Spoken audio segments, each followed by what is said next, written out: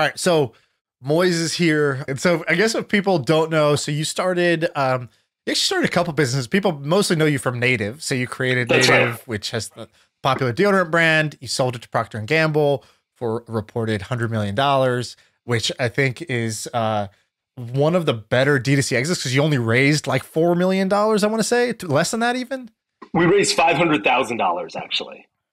Oh my God. Okay. So you raised $500,000. And uh, by the way, I don't know if you know this. I remember I was in a, a mastermind group with your brother and I was like, and he was like in between, he, had, he already sold his company. So he's kind of floating in between things. It's like, why do you show, show up to the mastermind if you don't really have a business that you're working on? So I think he was kind of like fishing and he was like, you know, my brother's got this interesting business. And I was like, I was like, oh, I didn't, you know, I didn't even know, I didn't know him very well at the time. I was like, didn't even know you had a brother. He's like, and I was ready for this like big tech idea and he's like, yeah, he's like selling like this uh, natural deodorant, like, and he made it sound like you're like sitting at home packing the deodorant like containers by hand. And he's like, and he kind of was underplaying. it. He's like, it's really cool, you know, it's paraben free. I didn't know what a paraben was, and he's like, it's aluminum free or whatever.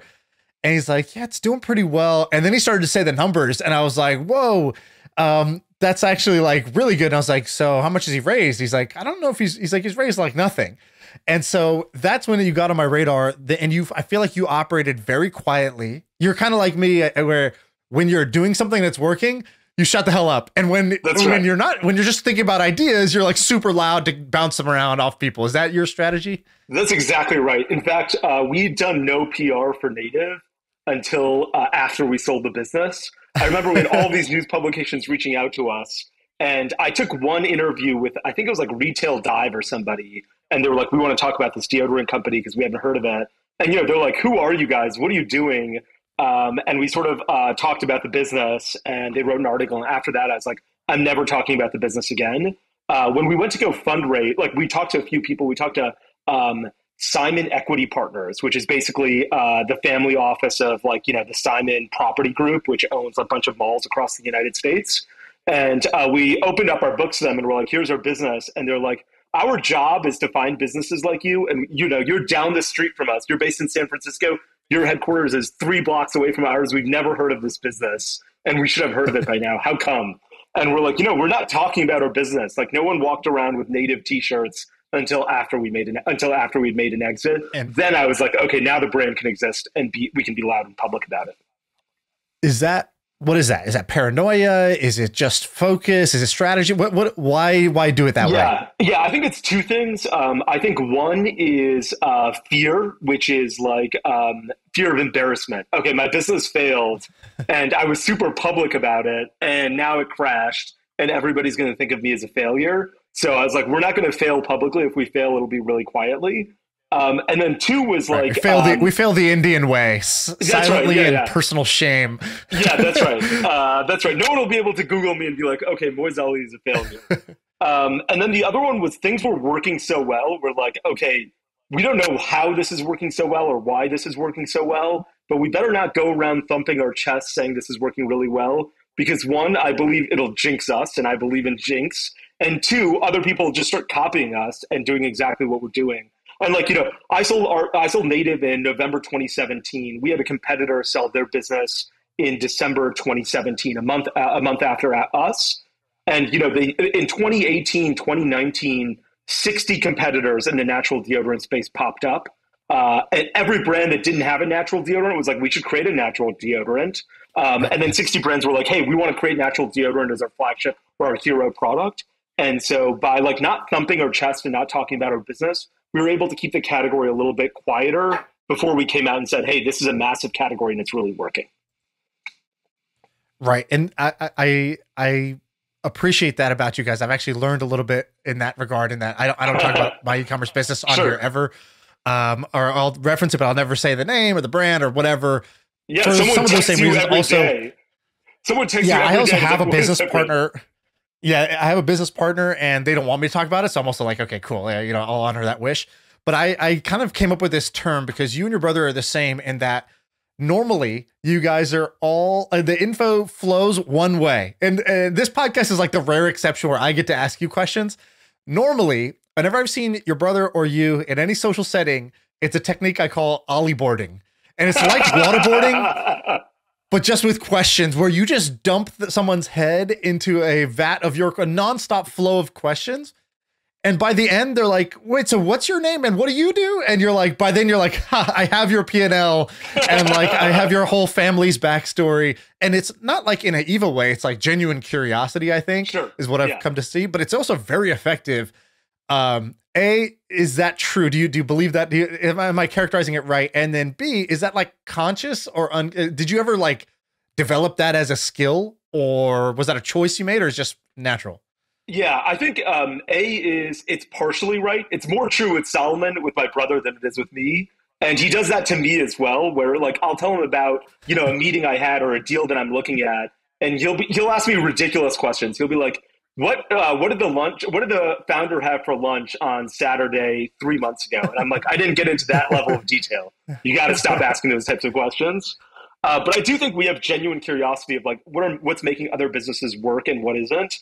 I remember we went to the Super Bowl, um, you know, four years ago or something like that in Atlanta, and we were at the Super Bowl party like the night before the game, and there were these two old desi uncles that were there as well, and uh, they were there because they had they owned Marriott hotels, and Marriott had invited them to the game in like their private suite, and you know they were probably in their fifties, and we asked them so many questions. I was like you know, how much do you have to pay Marriott? And they also own like Hilton hotels. I was like, how much do you have to pay Hilton per year, Marriott per year? You, do you have debt on the building? You do. What's your debt? Like, you know, how often do you have to renovate? How much do those renovations cost? Uh, how much, like, you know, what does your average occupancy look like? And they answered all these questions and they were like, didn't seem excited to answer them, but they didn't seem cautious. Like, they didn't seem like they were hesitant either. And at the end of all of these questions, where we literally did have their P and L, you know, we're like, okay, well, you know, they didn't ask a single question. They were just like, okay, well, uh, great meeting you guys. And we're like, all right, I now understand the hotel business from two operators that have eight businesses around the Dallas Fort Worth area.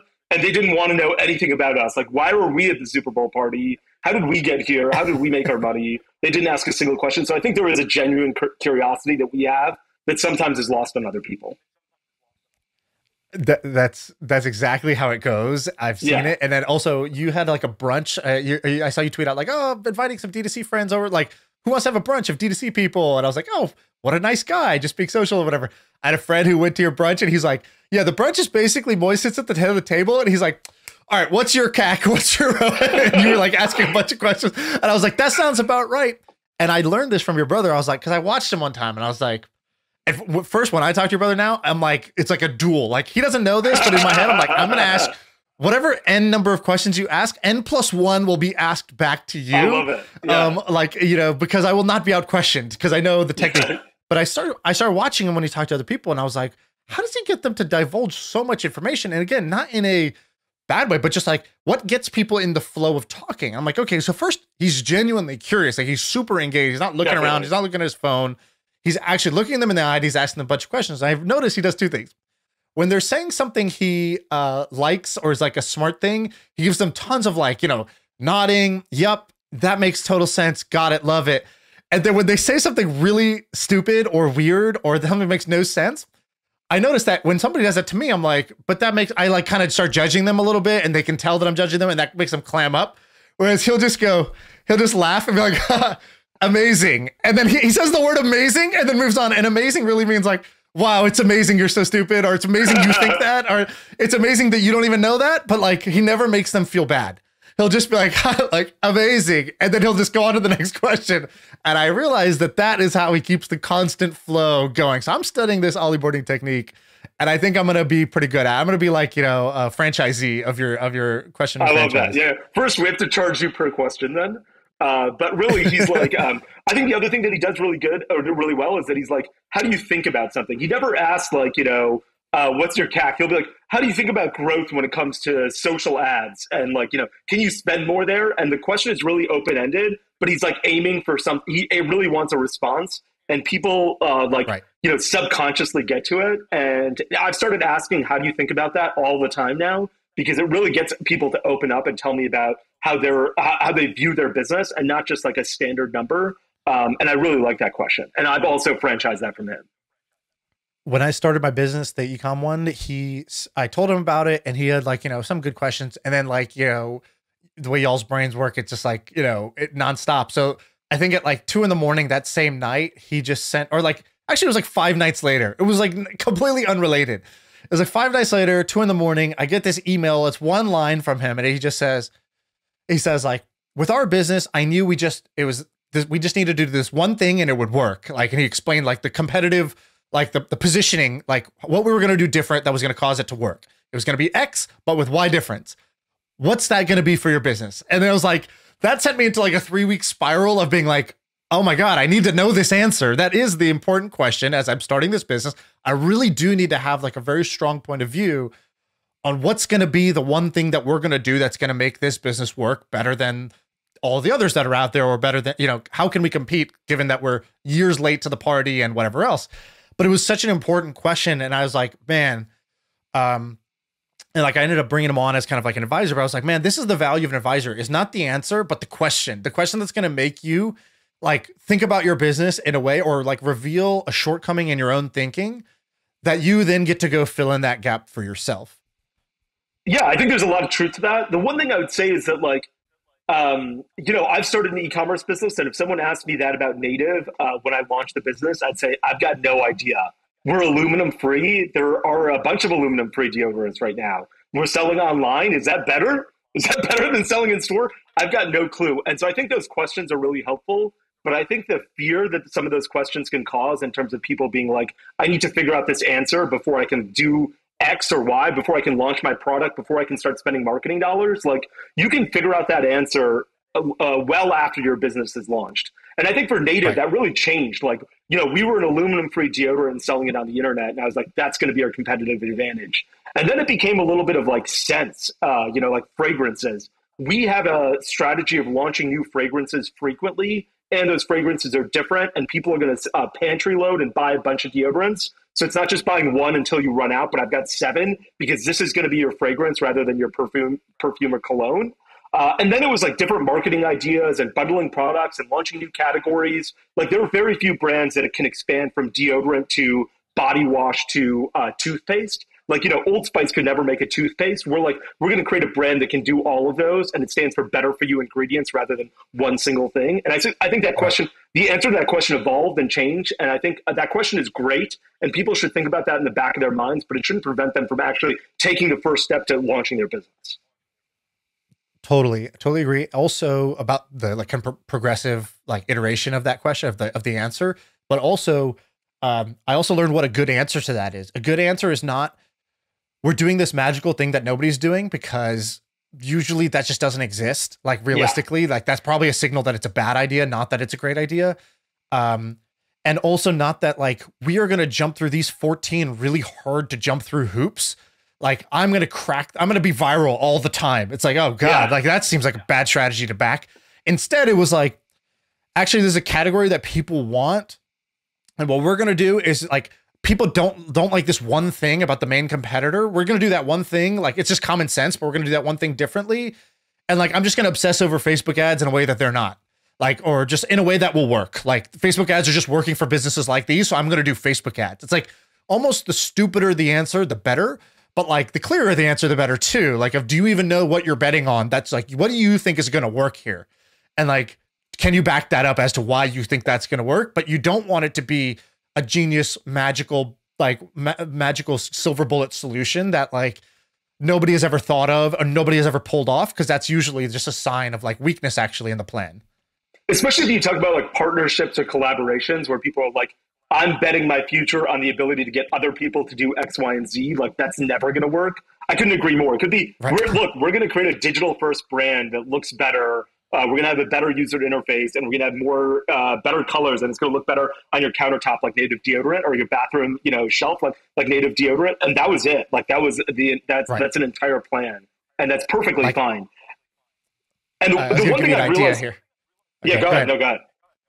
Okay so so the idea is um, an example of doing that. So you know the the so most people who listen to this are probably not not not brown or desi so they don't, they don't know this brand but like if you've ever been to like an Indian grocer, which there's you know all around the country, there's a bunch of sure. these like you know you go buy go buy you know the sort of like the ethnic foods. There's this brand called Haldiram, which is basically they make like just like this like super addictive salty little snack. Um, it's like fried. It's like our equivalent of chips. It's like fried, sure. salty, kind of spicy. And you just buy this thing. It's like an it's like a trail mix, basically. That's that's salty. And um and so it's been around forever. They do like 500 million a year in sales. They're like a like a juggernaut wow. of, a, of, a, of a consumer packaged good brand. They're like super profitable. Don't do any like advertising, and like they're just like they're, they're massive. And so like I think one idea is like Ram, but with like packaging that's just different, like different packaging, slightly better for you. Like maybe it's baked and not fried, and like that's the whole business plan. Like I don't need to know more to start than just that. And I think that that's a plan somebody could take today and go start like, okay, so then what are you going to do for this? Like, I don't know, or the same as everybody else. Like you can do, I don't know, or the same as everybody else for all other questions, as long as you just had that one thing, which is like, these guys do like 500 million in sales and they sell mostly through these like Indian grocers. I'm going to do that, but with better packaging because their packaging looks like my mom's packaging. I'm just going to make it look like my packaging, like, you know, the stuff I'm used to buying. Yeah, and I can cater to Caucasians as a result of that. Like you know, yeah. Pa- uh, packaging that the entire world is going to understand. It's not available only at ethnic grocers. There right. it is. That's our business model. Or is like, copying their product in a better bag.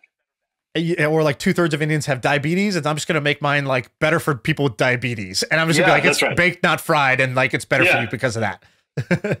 Yeah, you know the guys who started Nature Nature Box was this uh, company based in San Francisco that uh, like sold you uh, snacks like trail mix basically and shipped it either to your home or your office.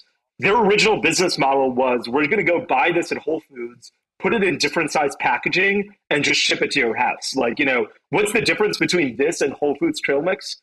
Literally, not no packaging difference, no uh, ingredient difference. They literally go and buy it and you know ship it to your house and that was it. And Instacart like started, and they're like, "What are we going to do? You have a grocery list. You just email it to us, and we're going to go shopping for it." Like really simple ideas right. that were not like you know groundbreaking by any stretch of the imagination that built huge businesses. And you invested in Manscaped pretty early on, I think, right? Yeah, yeah. I invested in Manscaped probably three or four years ago now. And so um, you invested in Manscaped, and it's been one of your, I think you tweeted out, one of your best performing investments. Um, what did they do? Like, what's their version of this? Like the stupid, simple plan that like just makes sense and it doesn't have to be rocket science, but like a simple plan executed well. What was their version of that? Yeah, I think uh, uh, two things. I think one was they're like, look, we've created a product specifically for your balls. Even though the razor that works on your face works on your, like, you know, if you've got an electric trimmer for your face, right works on your balls as well. It's not like it's different hair.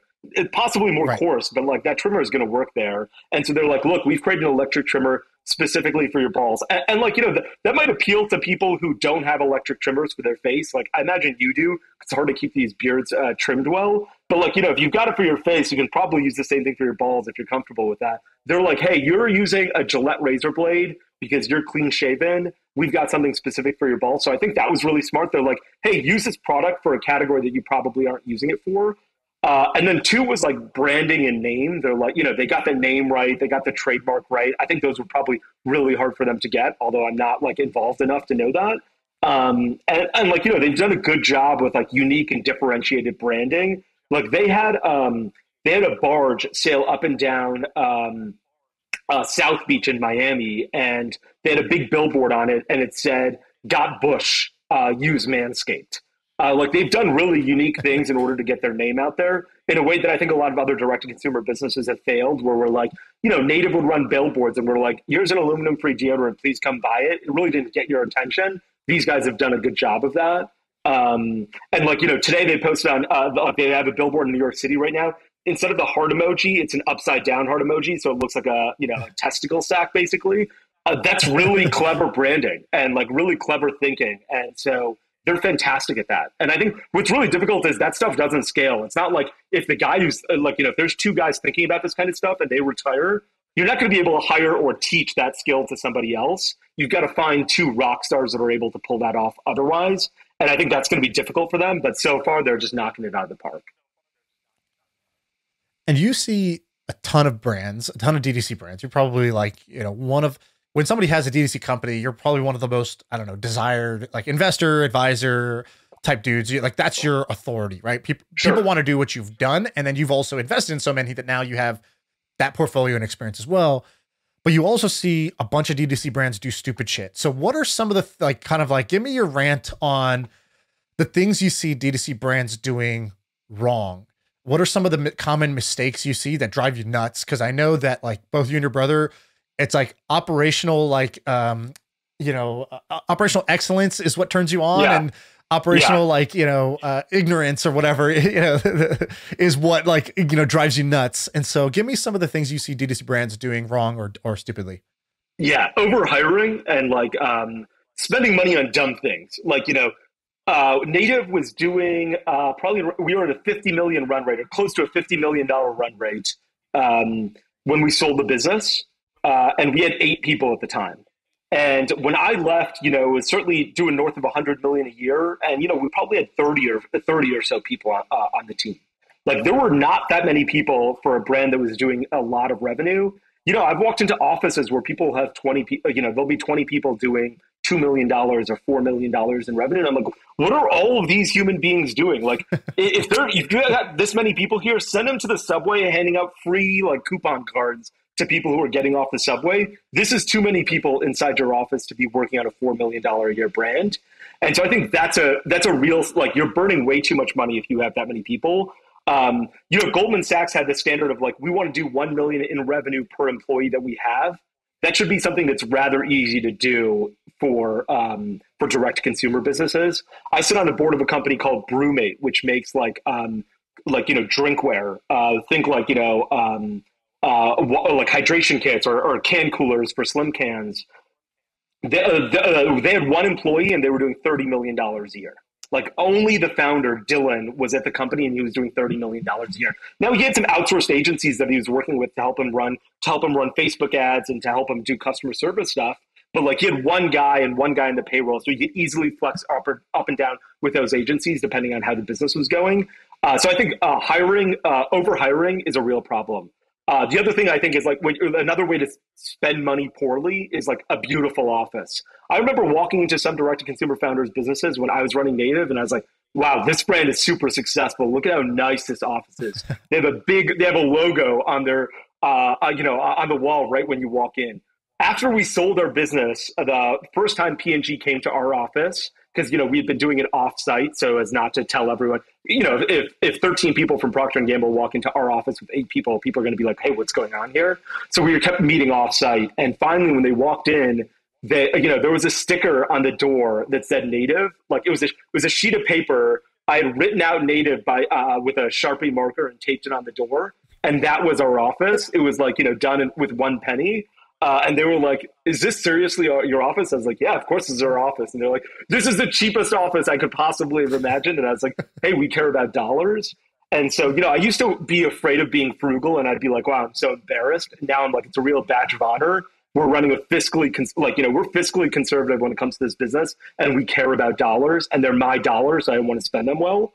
Uh, so I think that's the second thing, and I think the third thing is really poor marketing. A lot of founder, like if I could, if I ask a founder, "Hey, what is your CAC last month?" and you don't know, that is a terrible sign. If you're doing uh, under forty million dollars a year in revenue and you don't know what your CAC was last month, that's crazy.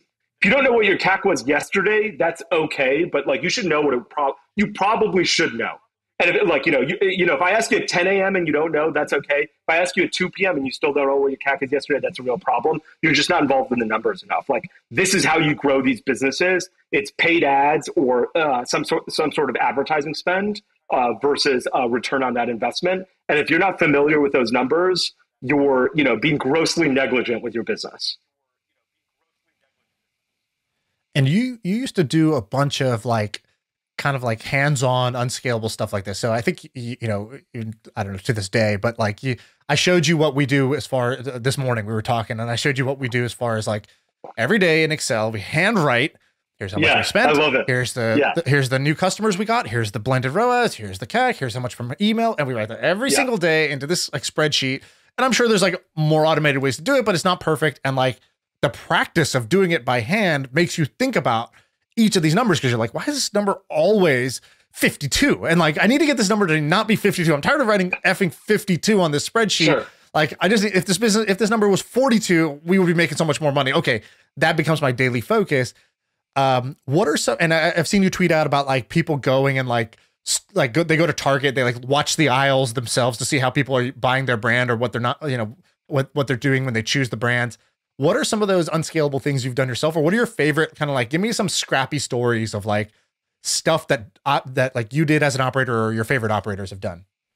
Sure. Um, you know, I, I, used to email every single customer at Native, and I was like, "Hey, what? Um, you know, you bought our deodorant.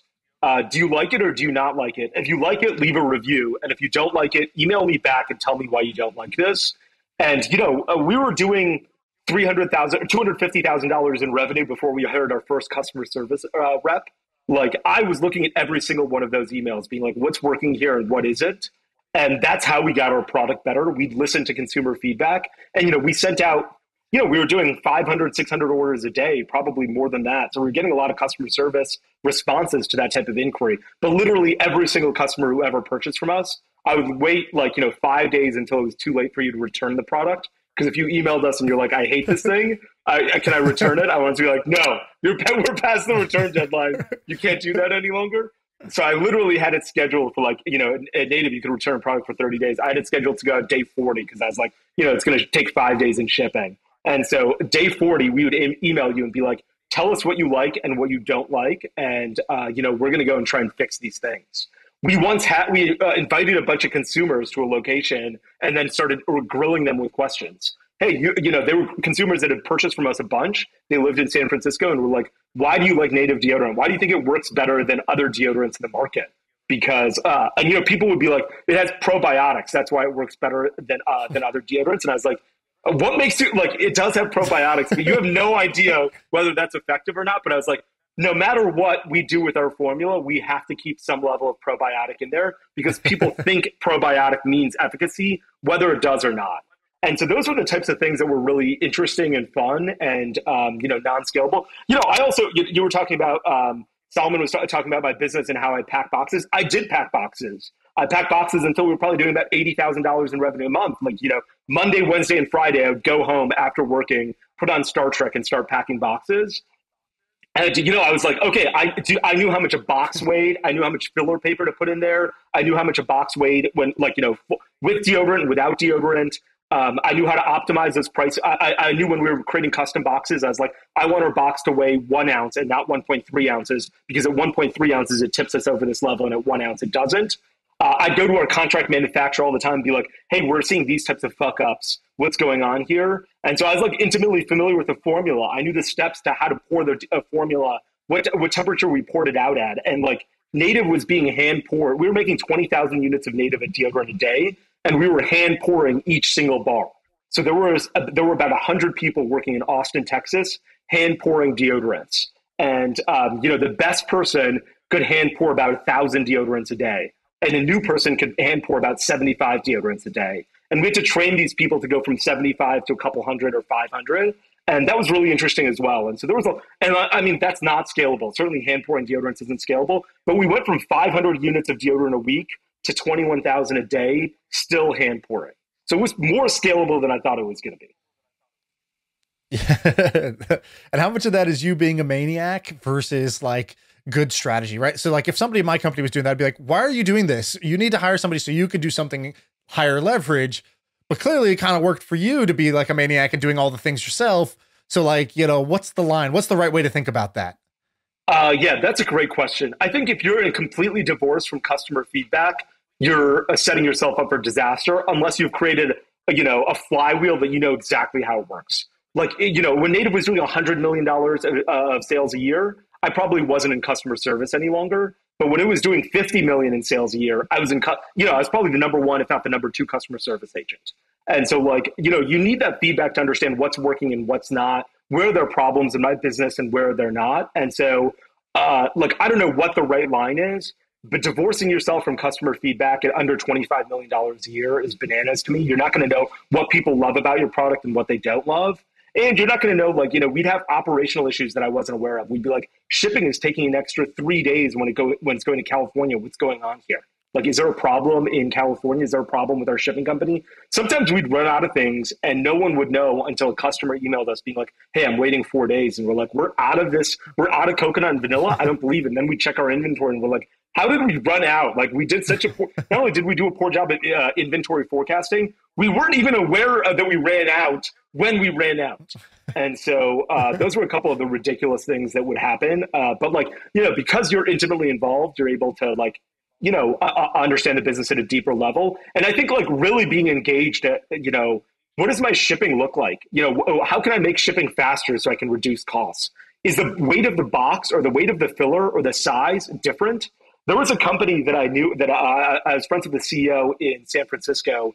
His bo- he was shipping through Amazon, and his box uh, that he was shipping in was about a half inch too large, and it went from being extra like it went from being like an, a large box to a custom large box, and so his shipping rate went up like seventy dollars a box because of this half inch he had. And like you know, w- when people discovered it, or when he discovered it, he's like, "I can't believe we've been shipping like this for so long." You know, if you're intimately involved, you're probably going to catch those things a little bit earlier. Right.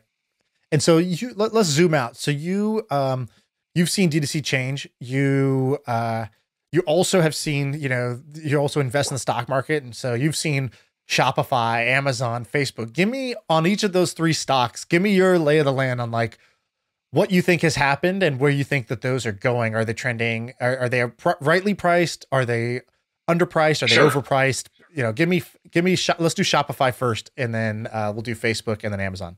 Sure. Okay. Uh, and for context, I've lost millions of dollars in Shopify stock in the last six months.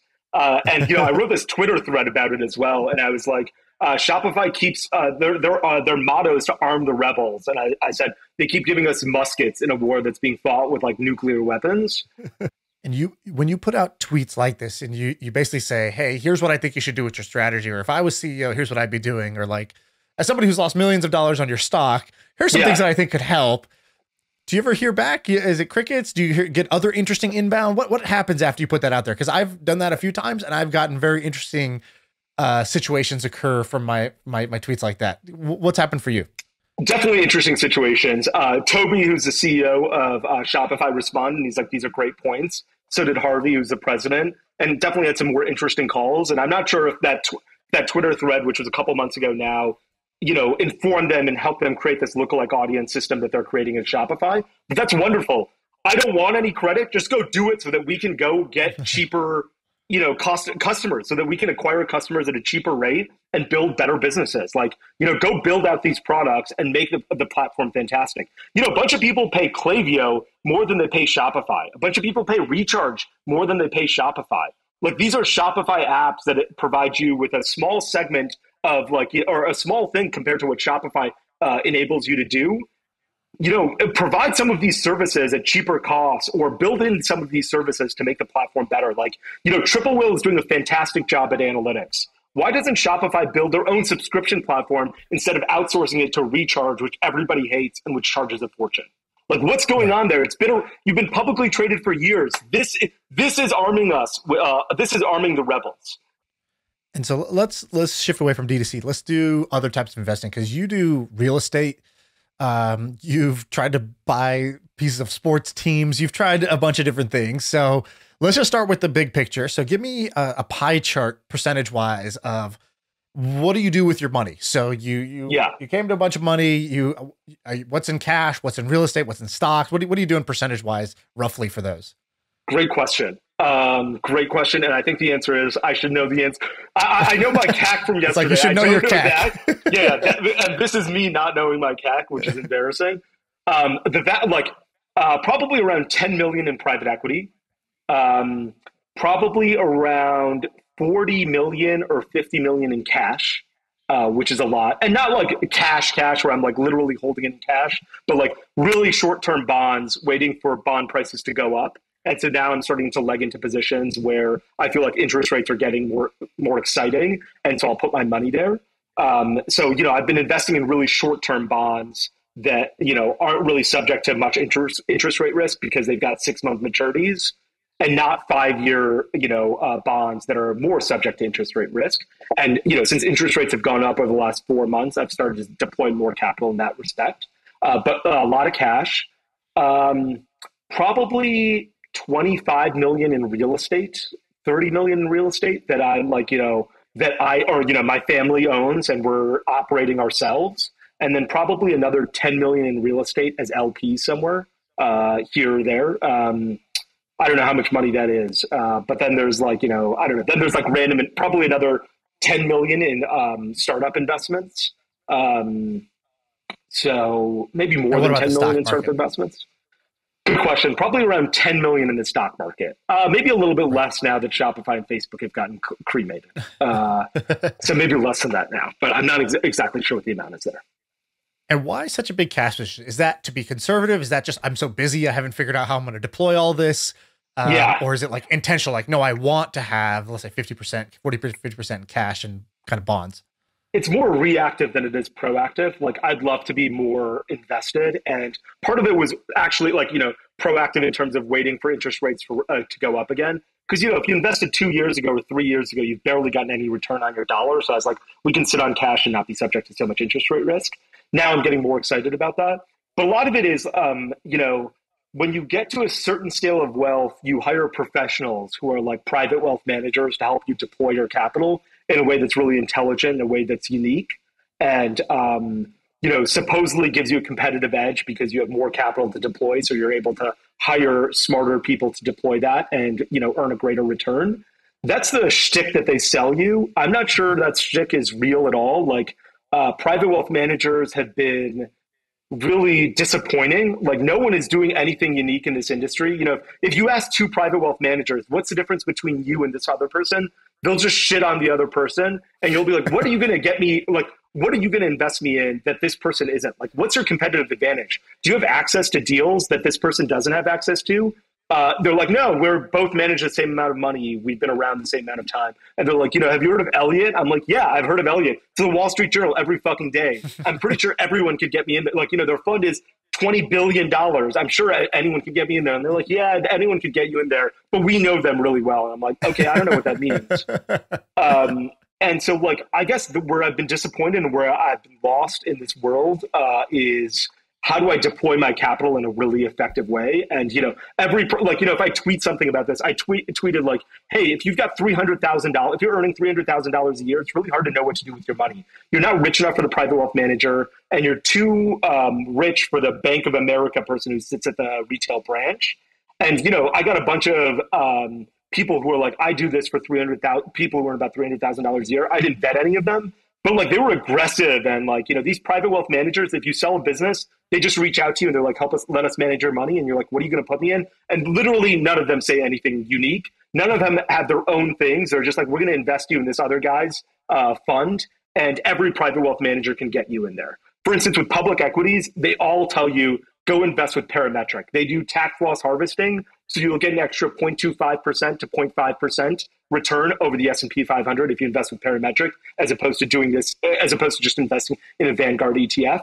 But they all tell you to do that. Why would like you know why use Goldman Sachs instead of First Republic instead of a smaller boutique fund if you're all just going to invest with this dollars with Parametric? You're all the same at that point. It's like you know it's like buying an airline ticket from Kayak or Expedia, but riding on American Airlines and getting the exact same seat. Ultimately, you're getting the same product. And so I haven't been smart enough and spent enough time figuring this stuff out. Gotcha. And then what about uh, crypto? You don't do anything crypto, and is there a, like a strong opinion, like oh, it's all you know fugazi, or or or, or you just haven't had time? Uh, very little with crypto. I'm like a, an investor in a couple of fund of funds that have made a fortune in crypto. So these funds have returned uh, a, a significant amount, and it wasn't in their sort of like fund charter to go invest in crypto, yeah. But they did it anyway. And they're like, look, we're up, you know, 10,000 percent. So you can't complain. You know, they're like, look, we turned your dollar into ten thousand dollars. You can't be a you can't be an asshole LP and be like, what the fuck? You can't do this. They're like, here's ten thousand dollars. Shut the fuck up. So you know they can do it. Um, generally, I just don't understand the value yet, and um, so I've been hesitant to get in there. I'm not, I'm not opposed to it. You know, everyone says invest five percent of your net wealth in it. I wouldn't invest five percent of my net wealth in it. Um, you know, it's hard because uh, the Sam Parrs of the world are like, boys, you're not investing in crypto. What the fuck are you doing? And the Warren Buffetts of the world are like, if you offered me all the crypto in the world for twenty dollars, I would not buy it. And so um, I guess I've just been sitting on the sidelines. I don't know if it's good or bad, uh, but if someone has a strong opinion and can convince me, please do so. okay, I'm going to resist the urge to do that now because people have heard okay. my rant too many times on it. Um, all right, so I guess let's let's do a little bit like uh, uh, let's do a little touch on a real little real estate, then we'll do the personal stuff. So real sure. estate, yeah. you've been deploying, but now it feels like the landscape has changed. I think you kind of have an opinion on what's changed. Give me your current take on like what do you see and what are you doing? Yeah, so uh, I left a Native in uh, February 2020, and um, right when COVID was going to hit, like I was like, I'm going to go to Europe, and I'm going to I'm going to go to France. I'm going to try and drink all of the wine they produced in 2019 in February 2020 in France, and uh, then COVID hit, and instead I was stuck with my parents, like you know, all day, uh, and it was a very different experience than I suspected it was going to be. Um, and so I started buying real estate. And so from like January or from February 2020 to probably the end of 2021, I bought about 50 uh, or so units, um, generally single family homes, some duplexes, some fourplexes, uh, two units in, uh, you know, all, and, and, aside from those 50 units, two units in like uh, California where uh, they're like old apartment buildings that are really small and we're renovating. And then I was an LP in a bunch of different funds um, you know, everyone who bought in 2019, you look like a fucking genius. Like people are like, wow, you're such a, a savvy real estate investor. I was like, I, I started buying because I had nothing else to do. You know, if they were going to return money, they're going to return 5%. They're returning 12, 14% now. And that's fantastic. But I'm not sure I was very savvy about it. Um, I, I, haven't used leverage, which is really stupid of me. And, it, you know, uh, it's really stupid today because if I'd borrowed, you know, a year ago, I would have gotten two and a half percent interest. I could have just invested in that 10 year bond and made money. I just haven't used leverage in part because I'm too lazy to try and get it. And in part because I'm like, you know, I've got enough capital to deploy already. Um, and the returns have been fantastic. You know, I, I, bought homes and I was underwriting for 6% returns that are 12, 14% returns. They're crazy. I bought a fourplex for $600,000. I thought each unit would rent out for like $800. They're each renting out for about $1,400 now. So it's I'm making a fortune. Uh, people are, are, struggling with rents, and so state governments are often stepping in and providing rents to landlords. Like, you know, we get a call being like, "Hey, John can't pay his rent. We're going to cover the rent for the next 18 months," and you know, they'll cut you a check for 18 months of rent and late fees, which is bananas. Um, and so it's been a fantastic investment. But yeah, I am slowing down now. And uh, do you think you know, where, where, do you think this goes? Are you gonna you're slowing down, but is you are you slowing down because you sort of are like, okay, I'm allocated how much I want to be allocated, or you're slowing down because you're like, wait, this no longer these prices no longer make sense. Uh, it's not even the prices don't make any sense any longer because I this. This is the one asset class where I'm like I have a really long term view. You know, stocks. I look. I've been in Shopify, never sold a share. Facebook, I've been in. I've never sold a share. Have had them both for five years, if not longer. Uh, Microsoft, I've been in for more than a decade. I remember buying it while I was in, in my admin law class in law school, and I've still held uh, every one of those shares. So, like, you know, generally, I, I like I, am a pretty good long term investor. Real estate, I think of myself as like, you know, I will never sell any unit uh, in in real estate. Like, my children will inherit this um, or you know natural disasters will take these things uh, into the ocean. I'm okay with either of those, but I will not sell one under any circumstance. So I'm not really worried about prices, uh, you know, in, in, terms of cap rates long term. But I do think there'll be a small market correction. So I, I guess I've slowed down my purchasing. I'm still uh, under contract to buy two or three units in the next couple months, but I'm not like before. I was trying to buy you know a unit a week or you know two units uh, a month, and now I'm sort of like let me buy a unit a month or less just to see what happens to the market as interest rates go up. I think these prices will come down a little bit. But I, I like, you know, I, a lot of my cash is in real estate, you know, 25, 30 million dollars. Uh, I, am not scared. Of, like, you know, if the market crashes, no, nobody will be more excited than me. I will deploy all the cash I'm sitting on for this. I have no problem if that $30 million goes down to five.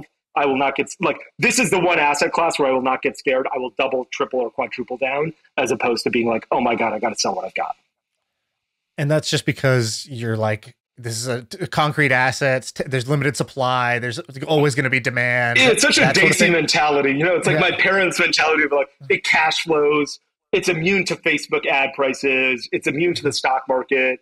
It's like generally uh, like it's real diversification for my e-commerce and startup investments. Like these things will exist. Um, they're generally they're primarily in the South, with the exception of a few in California and a few in Colorado. They're places where people are moving to and not moving from.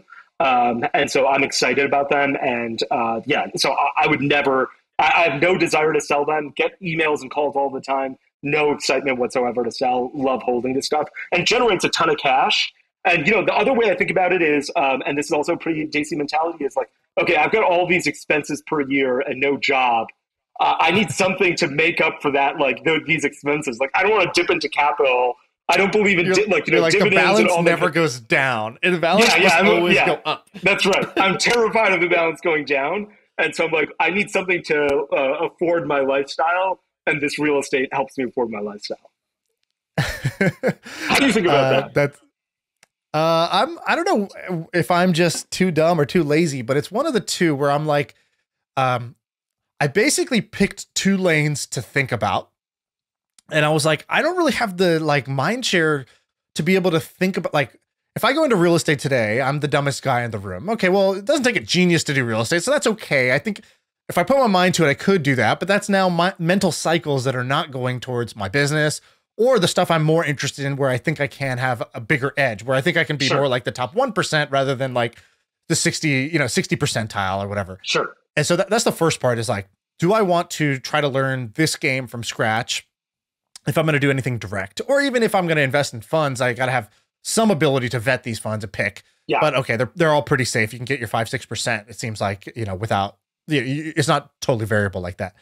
Um, the other thing is like in direct, I'm just like, who is going to have the time to manage all this? Like, I did one transaction buying my house that I was going to buy, I was going to live in in San Sure. Francisco. And just the process of the dealing with the bank to get the loan and then the closing, the escrow, and then the inspections. And it was like, um, I couldn't do anything else. I was like paralyzed from like actually doing stuff I liked because I was constantly having to nurse this project. And I, I was like, I can't imagine buying 50 units in a year um, or you know 20 units in a year and like the amount of just transactional like logistics that i would have to go through Yeah. it's such a turnoff from like for what is the return Sure.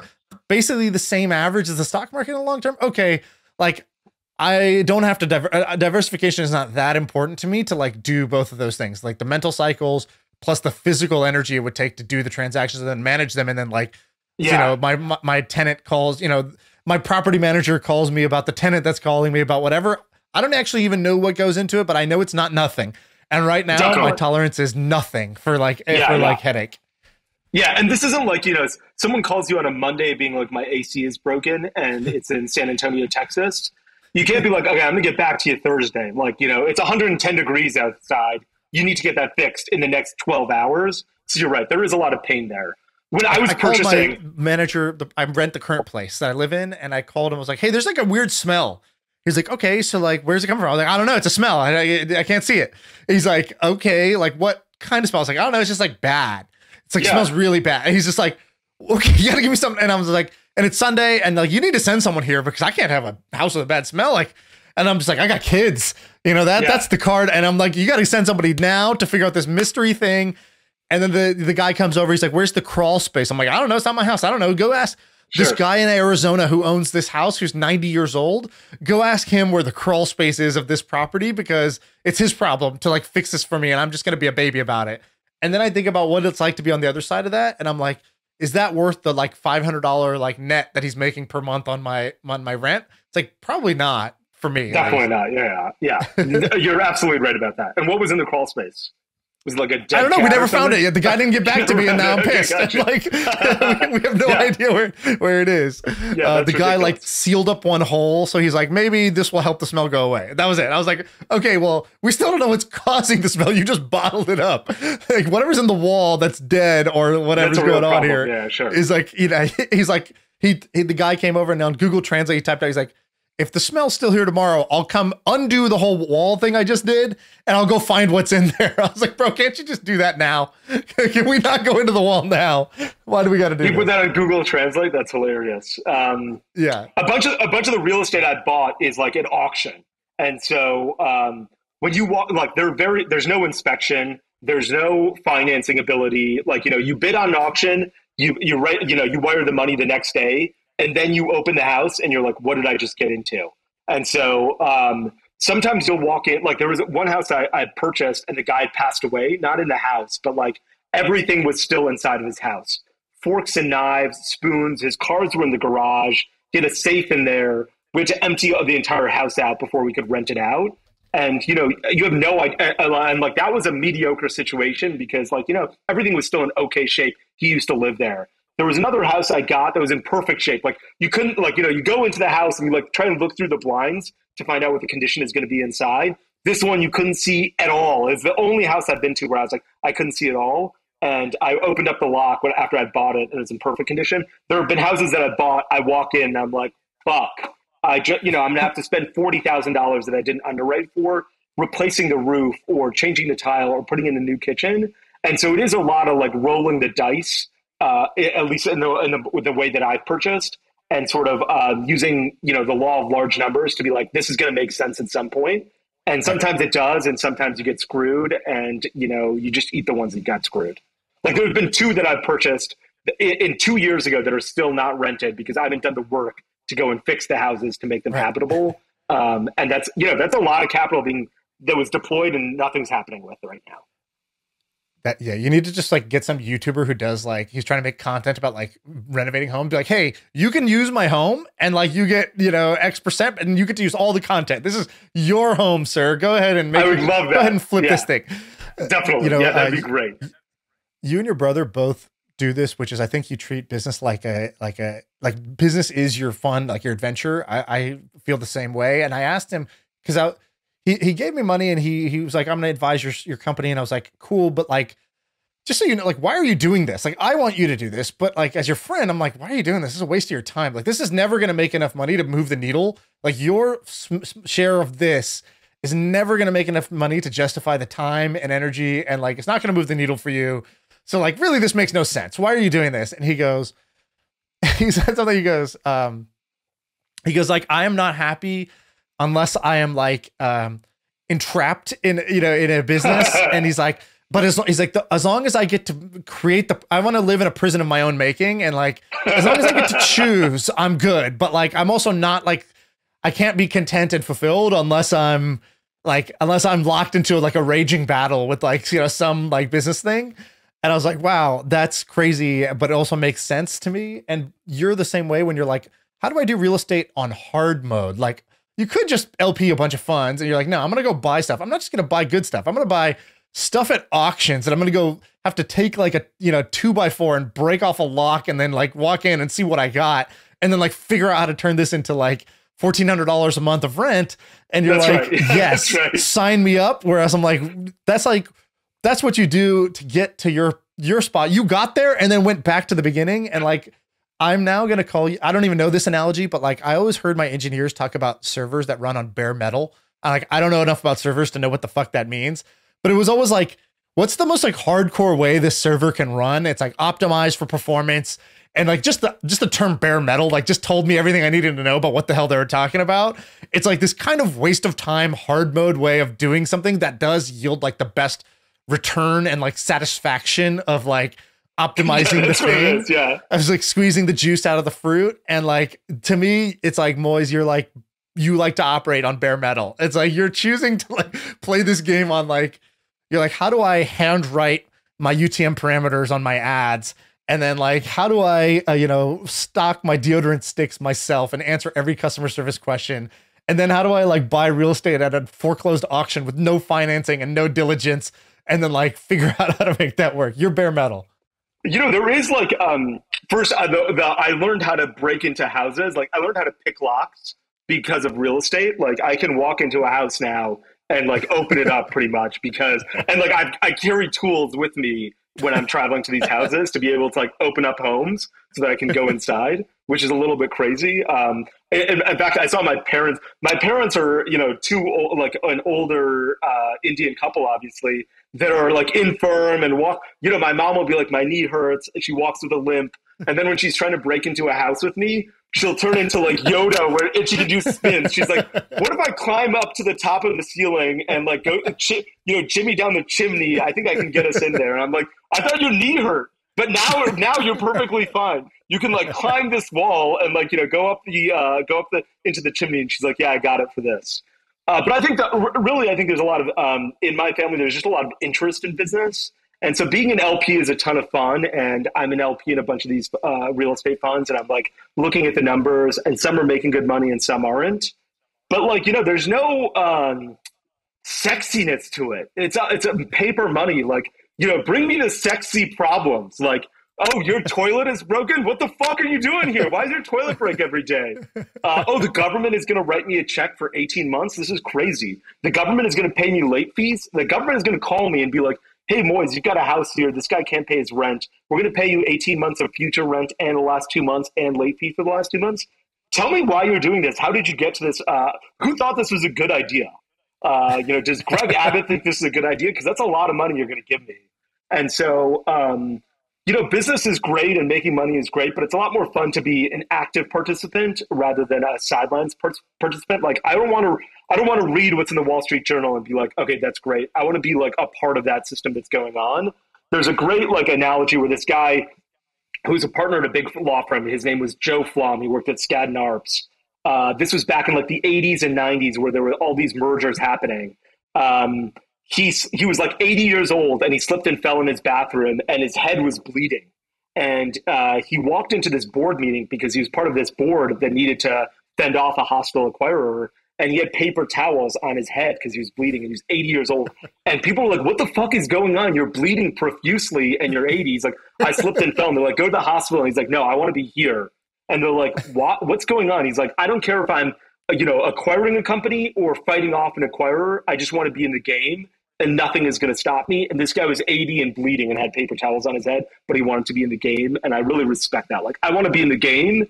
That's the where there's uh, a lot of fun in life. You um you watch basketball, right? Yeah. Do you which like athlete or in any sport doesn't matter which athlete are you like? I admire their like the way they do their thing is how I do yeah. my thing or how I want to do my yeah. thing. Yeah, Tom Brady. Tom Brady for two. Like I remember, he won a Super Bowl, and there was a sixty minutes like uh, interview with him at twenty seven. He was this was not his like you know seventh Super Bowl. This is like his second. And they're like, so what do you you know? You're a Super Bowl champion, uh, NFL MVP. What do you think? And he's like, is this all there is to life? Like that's what he said at the end. He's like, is this all there is? And you know, then he retired after two weeks. He's like, I got to get back in the game. I had two weeks off. This is boring. I need to be back in the game. and he's just like an ultimate competitor, and I really admire that about him. But I'm sorry, that was the answer to the question. That's that's great. Uh, I don't. Do you have five five more minutes? I want to do yeah uh, yeah a couple on the personal stuff. All right. So, so what were you going to ask about the athlete stuff? Though I didn't mean to interrupt you. No, that's what I was asking. I just wanted to know okay, who gotcha, you yeah. who you admire. I can't find this client info. Have you heard of HubSpot? HubSpot is a CRM platform, so it shares its data across every application. Every team can stay aligned. No out of sync spreadsheets or dueling databases. HubSpot, grow better. You, uh, we had a little doc. I said, put down some bullet points. I said, you don't have to explain what they mean, but yeah. Uh, give me some nuggets that we could go off of. On it, you had a section personal stuff, and you go, you have two that are really interesting to me. You go, I don't know how to spend money. What does that mean? Yeah.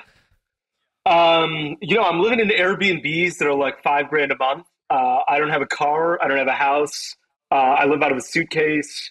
Um, and like, you know, when expensive things are like nice, I'm like, can I afford, like, I still do the math of being like, this seems too expensive for the value I'm getting, even though that, like, you know, at this point, a thousand dollars probably has no value to me. Not like no value, but like it does, it's not going to materially change my life. And I'm still so cautious when I'm spending twenty dollars. I don't know what the I don't know how to get this out of my system. Do you know how to get it out of your system? Um, I don't know how to get it out of my system. I have no problem spending money. Um, okay, in, gotcha. In fact, uh, spend spend too much money, but like I've seen this, and I think you know the one of the main things is I see my dad, and my dad has done really well, right? Like for he's got the same immigrant story that like everybody has, which is you come to the country. He had I think ninety one dollars. That was starting point, right? So that's the before, yeah. and then like you know he's made good money in his lifetime uh, nothing like you know crazy to write home about, but like especially from a ninety-one dollar starting point, like they yeah. are they have my parents have enough money to do whatever they want. They really don't need a penny pinch. But like you know, if we go to Starbucks and it's like, you know, would you like the? He's like, can I have the small? They're like, okay, it's called tall. He's like, no, but what's a smaller than tall? Because I feel like the tall is going to be overpriced. He's like, you know, this is three dollars. Like I. Uh, I can make this. It's mostly water. Like, and he'll be talking to the people about it, right? I'm just like, oh my god, like not only is this embarrassing, but like it's embarrassing in the moment because he'll just be like, let me clarify. You're saying the thing that's mostly water is three dollars and eighty cents? Like, uh, hold on, hold on, stop the line. what's, what's going on here? Or like, you know, you know, he'll pack seven people into a hotel room because, like, you know, we can make it work. It's like, yeah, Yeah. but do we have Yeah. to? Um, like, Yeah. we're on vacation here. Why does it have to be a struggle? And like, and so you know, I just saw he could never get it out of his system. Like those, those, Yeah. the scarcity mindset was just so like ingrained in him because, and that's like, I, all right, I get it. Like he had no safety net. He had ninety one dollars. Like every dollar counted, and like it wasn't about spending it was about like saving to get to build a safety net because you're in this new you're in a foreign country your parents can't help you nobody can help you like and so i get that but i saw that like oh wow you know actually the money come it wasn't logical. Like once the money was there that didn't change. The mindset didn't change. So it's like i had to separate out. There's a mindset around money and then there's like the logical like situation about the money. And like there's actually like they're unrelated. You would think once the Yeah. logical situation changes the mindset will change and it's like no it doesn't. So it's like an active thing. And so then i just started to like one of the reasons i asked you who you admire and you're like i admire this guy who's got like a bloody head going into the board meeting because he wants to do business that bad i would view that as a failure and you view that as a success and like uh, because i have this belief which is you become what you admire right like fundamentally Yeah. if you admire something, you're going to strive to it. So it, it makes a lot of sense to really pick and choose what you admire. Like, I'll give you an example. A lot of people admire Elon Musk. And I think Elon Musk is uh, obviously super incredible in a couple of ways. Like, he's one of the greatest inventor and businessman of our time, and like, you know, the greatest since Steve Jobs, I would say. But like, you know, I think he's like an Edison of our time. Great. Sure. Um, but he's also had, I think, like, you know, I don't know, four failed marriages. And like, that's not something I want for myself. So, like, I got to be careful to admire the, like, the, the all encompassing person because I don't want the all, the full result of that. Like, the, you know, and, and so you gotta, gotta, like, so I got, I got really specific about what I admired. And once I admired certain things, then I started to live life like those people. It's like, well, this guy's really, really happy. And like, wow, he's like pretty generous. And he's not generous based off of having this like huge amount of wealth. He's generous because like he doesn't feel super scarce about money. He doesn't feel this lack of money. Um, and so he's like willing to give and like he's willing to give freely and he doesn't think twice about it. And then he doesn't pat himself on the back about it either. Like, oh wow, I really admire that about him. Like, I want to be more like that. And so to me, the only thing that got me to change my mindset was knowing that it's not going to change based on how much money's in the bank. And B, like I have to change who I admire if I'm going to like change who I become, right? Because like I will naturally start to follow those blueprints uh, and observe people doing those things and be like, oh, downloaded that. Like I will, um, I will make that. Ha- I will make that happen. Like I'll give you a little small win for me on this front. Like uh, I was just on vacation. I was in Hawaii last week, and like uh, my parent, my dad is like I said, like a horrible tipper. And like, so my whole life, I basically saw my mom being like, tip him, and my dad being like, you don't have to. And like, you don't have to, or like, I did. And I'm like, he handed him like a one, like one, one was his tip. And like the absolute minimum. And I just saw the look in the valet guy's face or whatever. Like, it, it wasn't even valet. Like, he wouldn't do valet. It's like the face of the guy who you, you're mandatory. You, he's, he's standing there. You got to give him something, the bellhop, right? And it's like, so this time, um, we get to the place, the bellhop takes up our bags, you know, to the hotel room or whatever. And um, I felt all those same urges of like my upbringing, which was like, we can just take the bags ourselves. It's like, yeah, but like that's this guy's job. And like, it's not about being lazy. It's like, that's how this economy works. That's how this ecosystem works. If I don't like, you got to feed the whole food chain. Otherwise, somebody's not going to eat. Right. So it's like, yeah. okay, I'm gonna let him do that. Then we got to the room. It's like we have no cash 'cause I don't carry any uh, dollar bills. Like I only have cards. And so I've been in this situation like five times before, and I'm not I'm not proud of it. But like I would just be like, dude, sorry, I don't ha- like I don't have anything. I don't have any cash. We just got here. I didn't bring cash. Or I would like, you know, let the guy leave it at the door, and then I'd be like, you know, not there to like tip the guy. And uh, and this time I was like, I was like, hey man, like I'm so sorry, I don't have any cash on me. What's your name? And then, like I made sure I went and got him later, and it was like again, whatever, ten bucks. But those ten bucks meant a lot to my, to me, and like, Yeah. okay, that's a step in the direction of the guy who's not like has this lack mindset or scarce mindset about money and is looking to like hold on tightly to everything or like avoid paying things. It's like no, no, no. Um, like you know, make it happen. I actually had like a a pretty comical series of events where on the, even on this trip where I like my kid is two and a half, but it but I don't know if you know kids fly free under two. Um, Yeah. And so I bought first class tickets because I'm trying to be a baller shot caller, but then I do the lap. I, I lie about her age to make sure she's under two. And like I knew in the moment I was like, this feels wrong, but I was also like, the logic was like, well, it's like a couple thousand bucks to buy this two year old kid a seat. Like, am I really gonna do that? And then everybody told me they don't check, so I'm like, I'm gonna get away with it.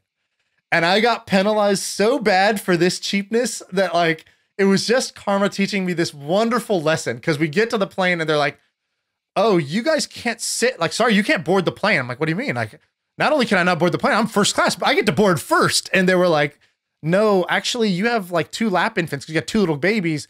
There's only like X number of masks in the top thing. So, like, there's three masks and there's four of you. We can't let you board this plane. We're going to have to ask to see if somebody wants to switch seats with you for you to get on this plane.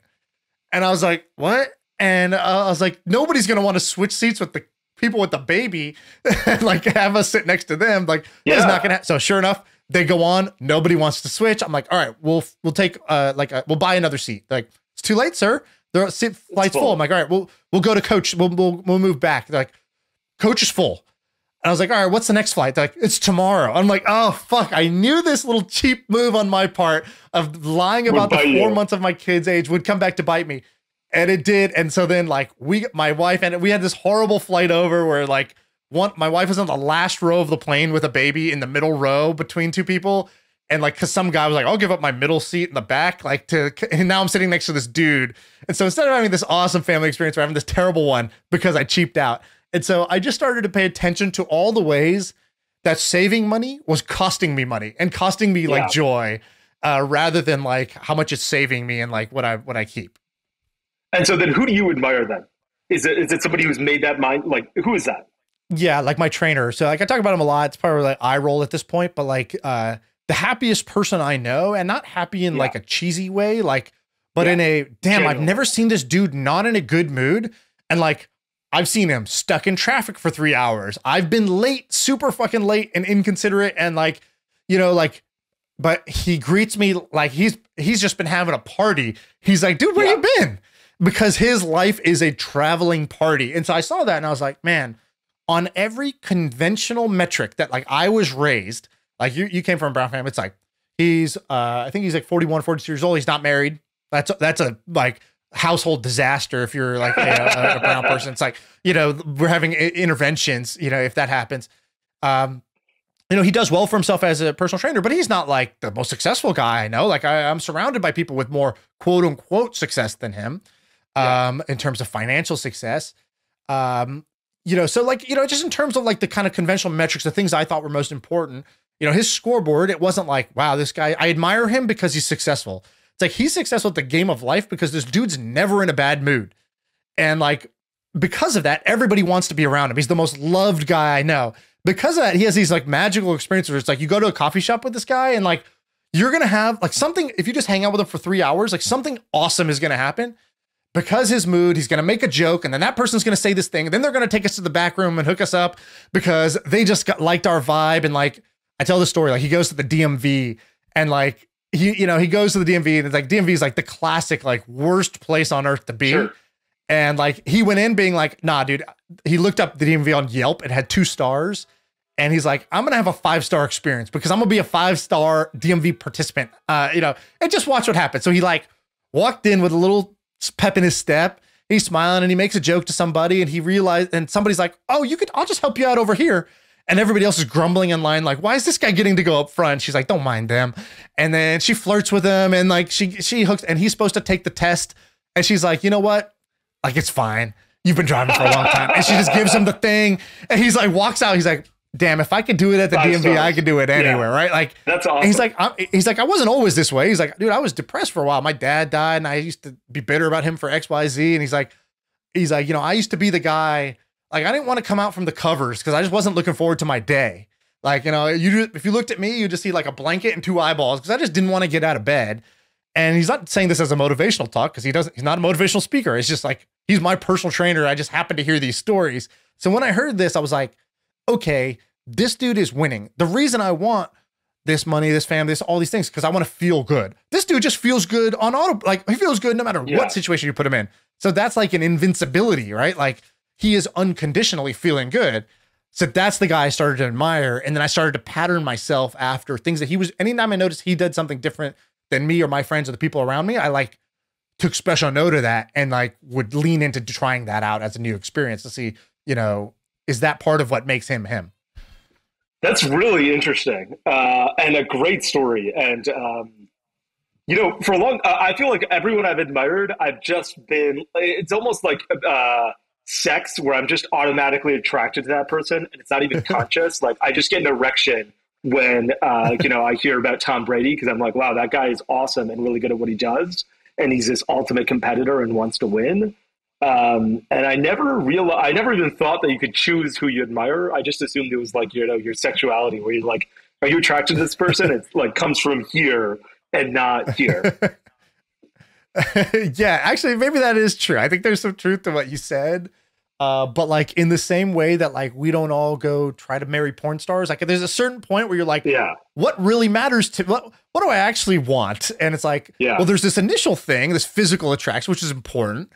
Uh, but then like actually, I now know it feels really good to have somebody who's caring and thoughtful and like whatever, like I can trust Yeah. and and the the things that are like slightly below the surface that like you're like, oh, I actually now that I know about it, now that I felt it, I'm like those are super important. I just you know, it's just less primal than like the physical attraction, I guess.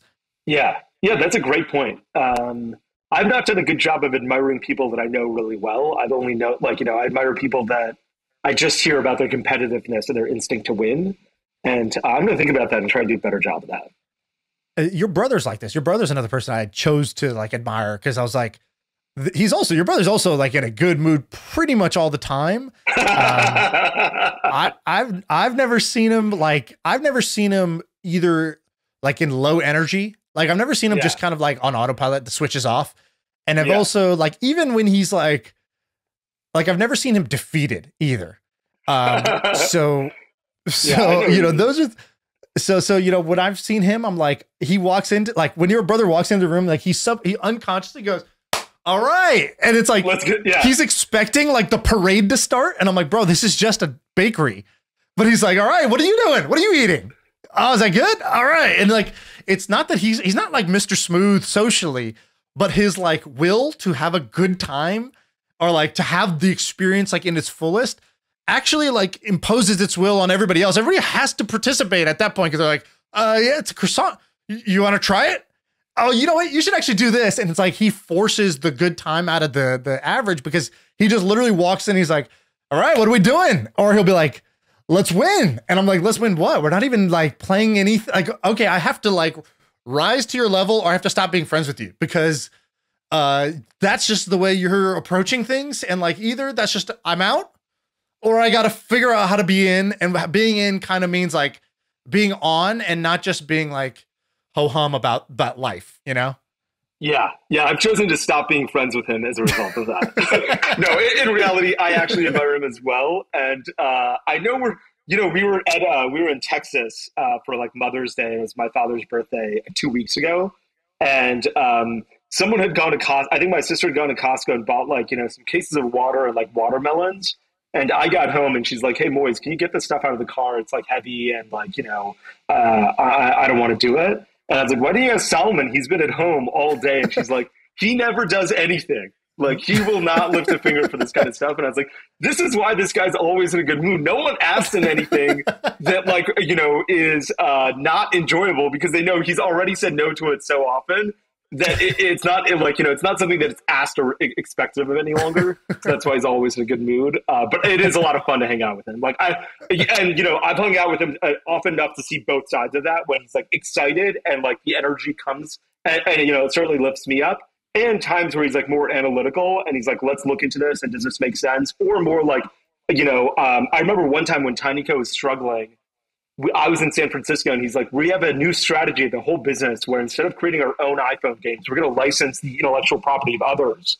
what do you think of this? This is like a bet the company move. And, you know, I had no idea. I was a lawyer and 22 and didn't know anything. Um, but I was like, I could, I could get the real sense of like, it's not just pure optimism. There is a sense of reality there. And that also like helped me understand him a lot more too. Yeah, he said something about you that I thought was a baller line that I've I've reused many times, which was uh I, I don't even know if this is the real thing, but this is now the, the the legend of it, which was when you went to the deodorant business, somebody was like, Hey Moiz like, do you even know anything about the deodorant business or like about deodorant? and you were like, "No, I know nothing about deodorant, but in six months." I'm gonna know everything there is to know about deodorant, and like that's all that's enough for me to go. Like I can start this. I don't need to like think of myself as some expert. I've used that so many times. Is that a true yeah line? yeah that's true yeah that was Yeah. definitely true. I remember who it was too actually.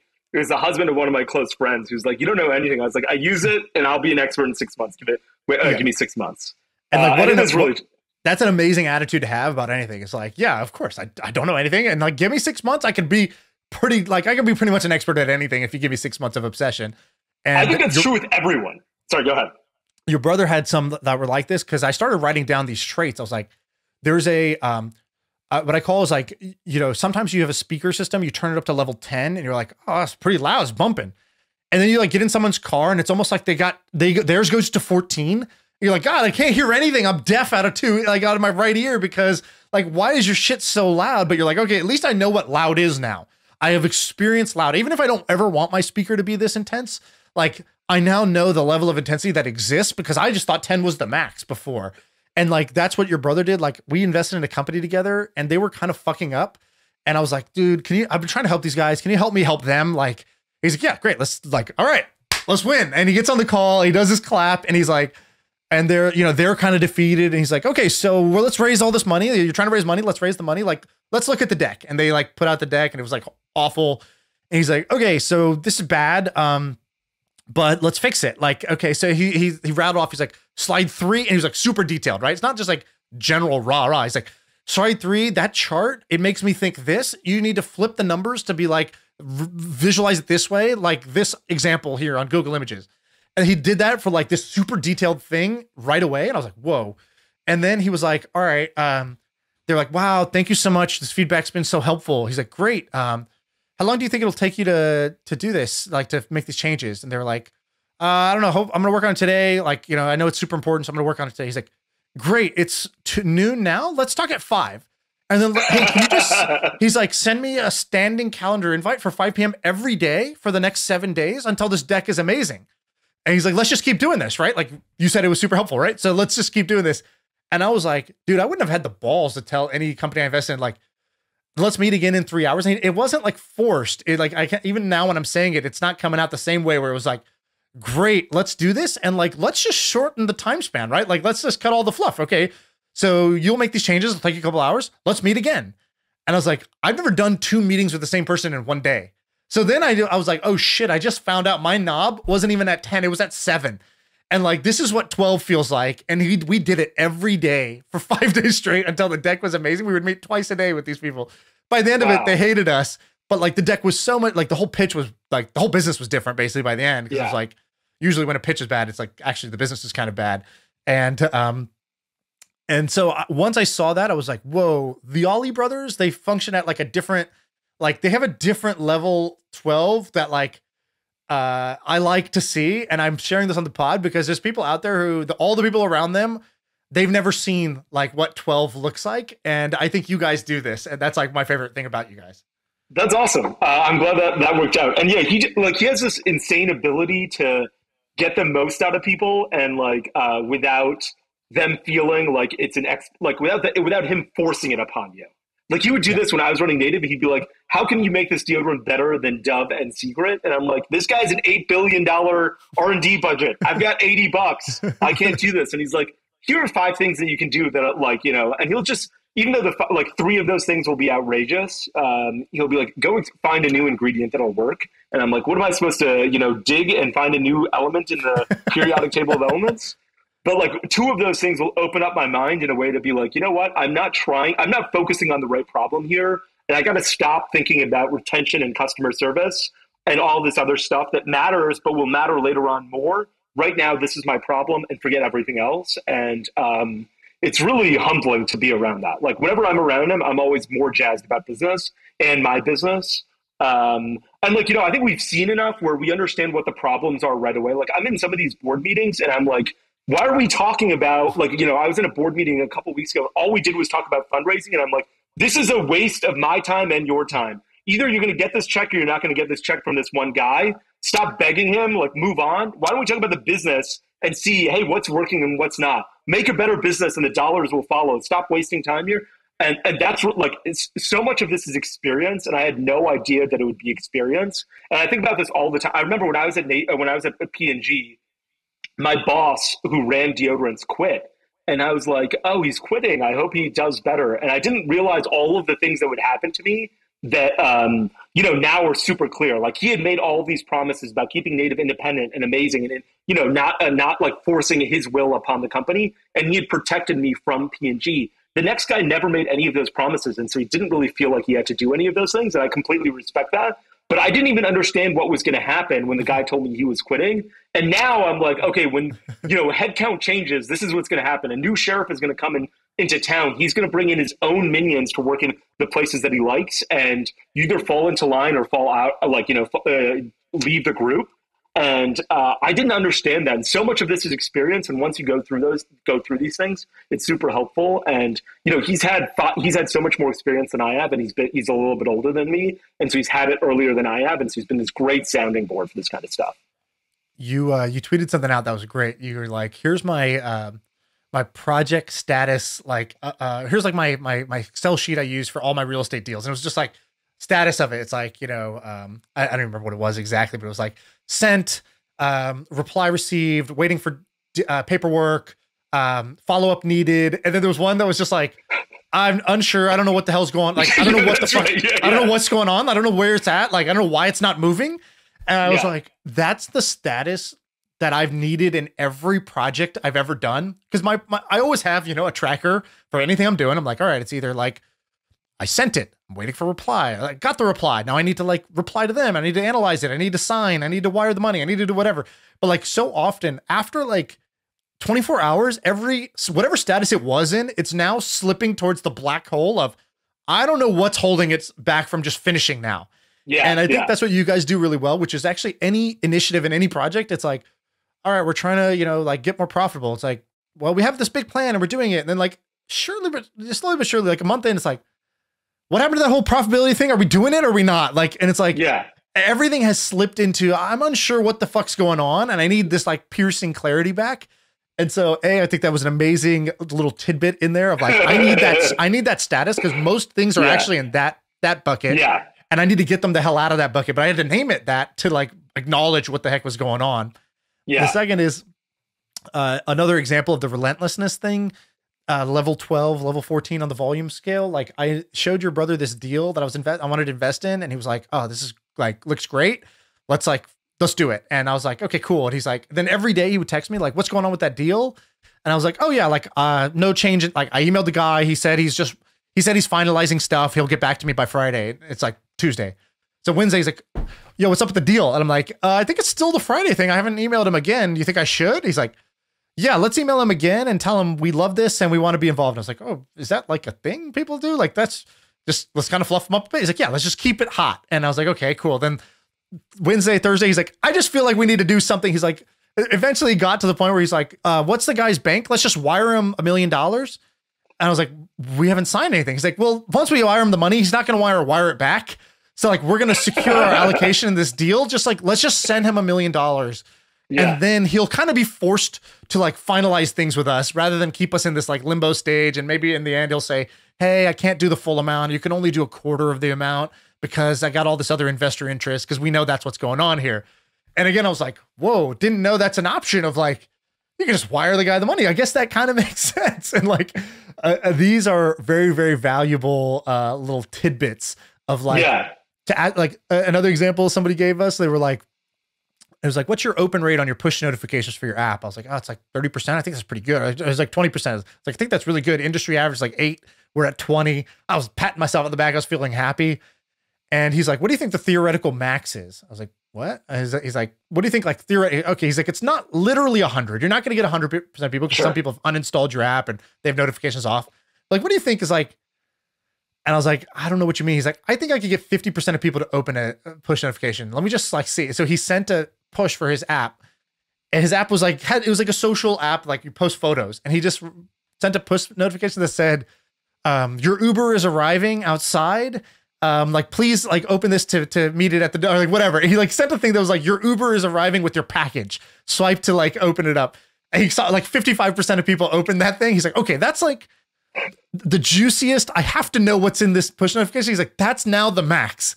He's like, yeah. anything we want to. He's like, now we know. So actually, our 20% is not on 100, it's on like 55%. And so sure. everything we do is from here. And I remember thinking, wow, some people in Silicon Valley are like maniacs. Like they will push the boundaries in ways that I just really haven't thought of. And every time I saw someone break like an invisible wall that I had just had up, I'm like, oh, fuck. The game is so much more interesting than I realized. And like these people play without these walls. Oh, this is awesome. Like, what what else can I do? it's so refreshing to see that kind of stuff when you're like, I don't know why I thought this wall existed. And now that it doesn't, it makes so much sense that it doesn't exist. Like just break through some it required some genius to break through it. And now that he's done it, it seems so obvious. Uh, whenever Suleman and I look at like deals, we're always like one of our, if our investments are like uh, you know raising a new round, we're always like we want to either uh, buy the business. We, I want to buy the whole business, run the business, or sell my shares, all of my shares. I want some action. So I can't look. These are the three options. I'll buy the whole thing. I'll run the business. You quit, or get, take all my shares and get out of here. But I don't want nothing. I can't do nothing here. And uh, it's a lot of fun to like. It's a lot of fun to be involved and have that action. Um, uh, but uh, you know, it makes it so that you admire a certain group of people. Certainly. yeah, exactly. For better or worse. Um, and by the way, this is a good example. I admire that Uber push notification. Some people like how unethical and weird and like um you know why would you do that? And like you know if i told that uh, and i have done this many times like i've told my designer hey let's try this and he looks at me like i'm bernie madoff saying let's take all their money and run away. Like you know they think i'm evil when i'm actually just running an experiment to me this is like an awesome experiment and it's because i admire people who did some of these different growth hacky things that are like just unusual thought experiments that i'm like oh you, you the way you think is how i want to think uh, but not everybody, not everybody wants that or even thinks it's good. Like they think it's bad, which is like, but knowing that is also where you figure out your lane. You're like, oh, that's my lane. These things I think are easy and fun and good. Other people think are hard, boring, or like are, are like evil. And I'm like, oh, okay, cool. I, I now know what differentiates me versus anybody else. There was this one great story at um, when I was a native. We had bought, we had these uh, uh, end caps for Target, like basically like shelving that was going to sit at the end of a, an aisle. And they come in filled with all the deodorant. Like, you know, we ship them and all they have to do is take the box off and it's filled. And uh, so we sent them to Target and uh, nobody could find them. Like, you know, there were a bunch of Targets that were like, we don't have this. And so we're like, okay, what should we do? And so some P&G person was like, okay, what we have to do is we need to call up the P&G Target team in Minneapolis. They're going to call up Target. Target's going to call their distribution facility. And then we're going to go all the way back around and we'll find out where they are because we've already shipped them. And so um, someone on our team was like, this doesn't make any sense. This is 15 phone calls. This is what you guys ordinarily do. And they're like, this is the only way to do it. So we Googled Target distribution facility in like New England, found their phone number, call, randomly cold called them, and we're like, hey, we work in native. Uh, I think you've got uh, a bunch of these end caps. A bunch of stores don't have it. We shipped them to you. Do you know where they are? And they're like, give us 20 minutes to look in the facility. They called us back and they're like, yeah, we got them. We're going to ship them out in the next truck. And that's how we solved the problem. And like, you know, to, to the P&Gers, it had never occurred to directly call the facility and to Google for that number. They're like, we have to make 15 phone calls and play secretary on the way back. And like, you know, their, their mind was blown. And for us, we're like, this is the most obvious thing to do. Call the person where the problem lies. And, um, it's it's it's crazy to see where those walls are, and it's so amazing to break through them and be like, this is the way things should be done moving forward. Can I give you one of those as well? When I was when we yeah, got acquired by Twitch, Twitch is an Amazon owned company, so yeah. it had like the Twitch bureaucracy plus the Amazon bureaucracy. Like there's layers, you know, and, and yeah. it wasn't all bad, but there was certain things you'd run into. It's like this pocket. It's like, oh no, I'm stuck in molasses. What is that? Where did I step that like got me stuck? And one of them was for a period of time, I believe there was something with the performance marketing where it's like, so how much are we spending on like you know getting uh, like installs? And they're like uh you know this amount. I'm like cool like what's the cost? They're like well we don't really have the tracking. I'm like we don't have tracking? That's like you know the basic. They're like well we don't want to install the facebook pixel because amazon doesn't really necessarily want like we have to get approval before facebook because when facebook pixels in your app they have your data. They're kind of a competitor to twitch and to amazon. So like you know there's some sensitivity. You have to get that done. Like so we just spend we don't know any we don't know the we don't have the pixel installed. Like you can, I don't even know you can run an ad without the pixel. And they're, yeah, they're like, yeah. Right, yeah. And I was like, how long is it? They're like, yeah, it's been on legal's desk for like a year. And I was like, oh my God. And so I was like, oh wow. So it's like we can and so my job was at that time I was like, "Oh dude, we're getting our ass kicked in Brazil and like nobody in the company's even paying attention. Like we need to we need to like win in Brazil and like what happened? We used to be number 1 and we're slipping because like mobile gaming took off and we don't do mobile gaming. So I was like, we need to win. And um and so was, we built a scraper first to like see how fast the competitors were growing because nobody in the company would do anything unless you had a case for how like much how big the market was. So I was like, well, look at the competitors. They're like, yeah, but like we don't know. And I'm like, all right, well, we'll build a scraper, which is like startups do this all the time, but at a big company, yeah. it wasn't like super super kosher to do that. But I was like, all right, whatever, we'll do it till they tell us to stop. And the second thing was, I was like, oh, we don't have this pixel, so we can't like run these ads. So I was talking, I just went on a phone call with this guy who was the number one streamer in Brazil that we had just like paid a bunch of money to like come onto our platform. And I was like, how would you get a bunch of people to download our app uh, if I can't do Facebook, I can't do marketing like paid ads? And he was like, um, he's like, oh, easy boss. And he's saying this, the translator's like, he's saying, oh, it's easy boss. You know, here's what you need to do. He's like, give me 10 iPhones. I was like, what? And he's like, buy me 10 iPhones. I was like, what for? I, I, you know, like, I don't know how to do that. He's like, I'm to give away iPhones. iPhones are like gold bars in Brazil. If I just say I'm giving away iPhones on my Twitch stream, everybody download Twitch. And, you know, sure enough, I get the, I just like kind of like bootleg away to get the guy gift cards so he could buy iPhones. And um, he buys 10 iPhones. He does a stream where he's like, I'm giving away iPhones. He's like, I'm not giving away the first one until we have a, like, we have 10,000 people watching my stream. Go share this. Text your cousin, text your mom, tell them to get on this. I'm not giving it away until then and then uh and he drum up he had he brought he like had he was the number one streamer on twitch that day. He brought in himself like hundreds of thousands of downloads like the m- biggest wow. download spike that we had had just by giving away like you know we ended up giving away like five iphones. And it's like so for five grand basically we did like more installs in a proven way because they were all coming directly off his link to his channel. And i was like and people uh, and that's when i knew like twitch might not be the place because like i told this story and i'm like I feel like I slayed the dragon and I'm dragging his carcass into the boardroom, like the, in the ninth floor, the yeah. top floor, the, the, the mega boardroom where all the, the execs sit. I feel like I'm dragging this carcass in, being like, you know, are you not entertained? You know, and uh, people were like, oh, like, you know, that's interesting.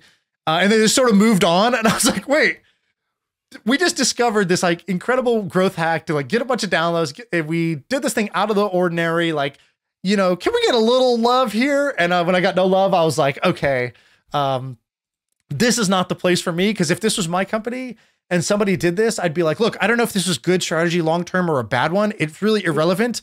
The fact that you did this, we need to tell every team in the company that like something like this is possible in your department. Like, don't get stuck in the molasses. Like, find something and try something that works. And like these guys have tried nine things that failed. T- tell them, tell them about all nine and then tell them the one that worked. And like I would have gone on a roadshow for that. And that's how I knew like, okay, what type of company do I need to be at is one that like sure. celebrates that type of thing. That's a pretty amazing story. And like really amazing that this guy who's in Brazil is like, I know how to get downloads from this street, like giving away iPhones and get people to download it. That's brilliant of him. And brilliant that you found him and like harnessed it. And we are like, fuck all this red tape. I'm gonna figure it out. That's awesome. What an incredible yeah, story! That's what. Finally, I'm getting. Finally, I'm getting the love I needed. Yeah, uh, I've been waiting two That's years to, to, to, just get the daddy. I'm proud of you, uh, son. I'm proud of you moment, but I, I, got it now. All right, man. Sorry I took you so far over the time limit. No Thank you for coming on. Yeah, appreciate and, uh, it. And Thanks so much for having like, me. Like a champ. Yeah. Where should people find you? Your Twitter is probably the best spot, right? Yeah, Twitter. I'm at Moiz Ali. At Moiz Ali. All right, perfect. Thanks, man. Perfect. Thanks, Shaan. Talk to you soon.